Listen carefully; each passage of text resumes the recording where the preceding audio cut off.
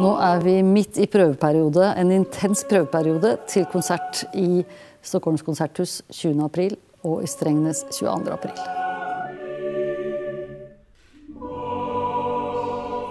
Vi fant noen korstykker som vi syntes var utrolig fine. Og når vi har satt de sammen, så ser vi at egentlig så handler de alle sammen om noe nytt som blir skapt.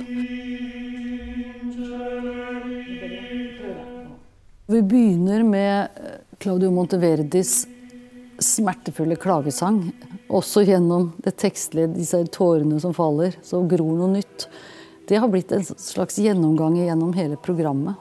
Så via Karin Renkvist var ikke redd for mørket, Per Nørgaards Abenlid, til Sven David Sandstrøms 'En ny himmel og en ny jord'. Og så avslutter vi med Bach 'Singet dem Herren ein neues Lied'. Så egentlig så er dette en vårkonsert. Kanskje ikke i den tradisjonelle forstanden av begrepet, men det at gjennom noe som har skjedd, gjennom at noe er i dvale, gjennom at noe har dødd, så skapes også noe nytt. Så hjertelig velkommen til konsert.